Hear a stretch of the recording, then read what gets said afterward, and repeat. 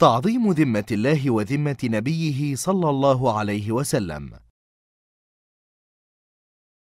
قال الله تعالى وأوفوا بعهد الله إذا عاهدتم.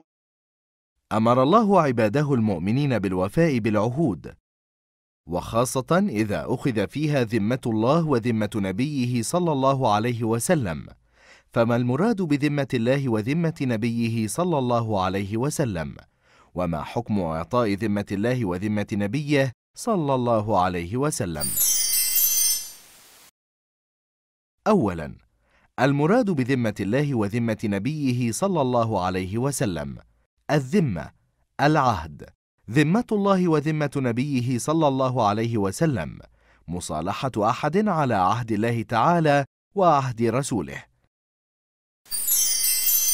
ثانياً حكم مصالحة أحد على ذمة الله تعالى وذمة نبيه صلى الله عليه وسلم.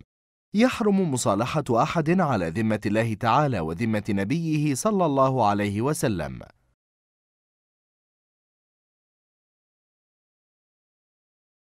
ودليل ذلك الحديث الشريف التالي. اقرأه متأملا موضع الشاهد فيه.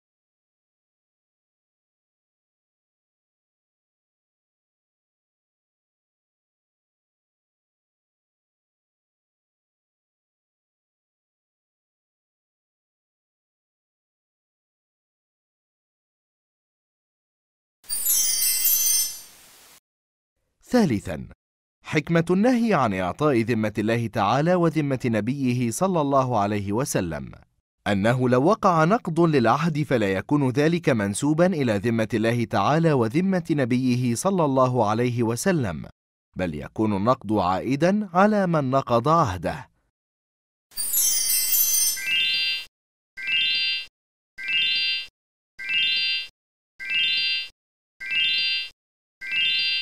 فإذا عاهد أحد بالله تعالى أو حلف يمينا بالله تعالى وهي من العهود الموثقة فإنه يجب عليه الوفاء بهذا العهد لقوله تعالى وأوفوا بعهد الله إذا عاهدتم ولا تنقضوا الأيمان بعد توكيدها وقد جعلتم الله عليكم كفيلاً.